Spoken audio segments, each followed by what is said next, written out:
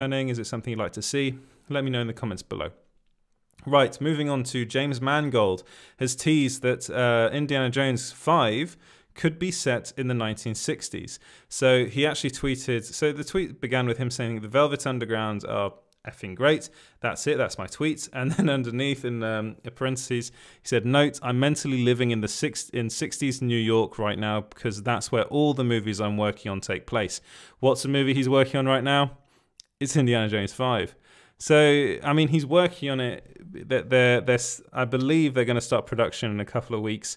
And uh, he is, of course, the director. He was confirmed to be the director by Kathleen Kennedy at the Disney Investors Day presentation, which was something that we'd been talking about for a long time before this was officially announced by Kathleen Kennedy. Um, so this is going to be the first Indiana Jones movie not to be directed by Steven Spielberg, which is going to be weird. Uh, it's going to be interesting as well. I think it's good, uh, good to have some new blood in it. Whether or not they can have it set in the 1960s to me is a bit strange, I suppose, but also maybe it makes sense actually. Does it make sense? Because how old? So we're we're talking about so the Last Crusade, which in my head I count as the last canon Indiana Jones film, that was set right before the Second World War. So that would have been what 1940s. Um, so I suppose 20 years on would be the 60s. So no, actually, it does it does work. It does it. Yeah, New York, 1960s. That's where we're, that's that's it, guys. That is confirmed.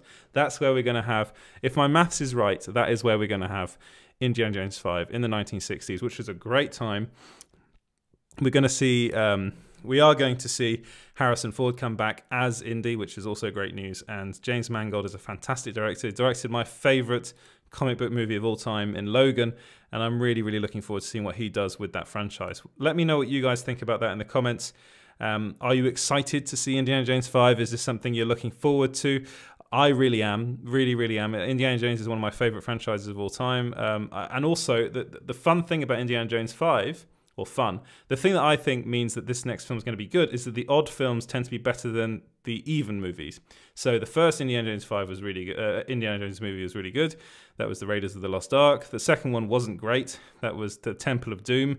The third one is, in my mind, the best one. Still, I, I recently re- watched it, the, the Last Crusade. I think that's fantastic. And then the fourth one was a load of rubbish, which was Kingdom of the Crystal Skull. Genuinely terrible. So, it, with that logic, it means Indiana Jones 5 is going to be great. Fingers crossed. Let me know what you think about that